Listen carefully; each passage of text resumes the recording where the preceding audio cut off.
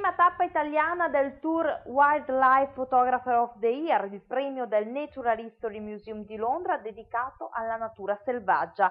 Alla fortezza di Barde, in Val d'Aosta, fino al 2 giugno sono ospitate le oltre 100 foto vincitrici dell'edizione 2013. Per l'edizione 2014, con la quale si festeggeranno anche i 50 anni del premio, le iscrizioni sono invece aperte fino al 27 febbraio.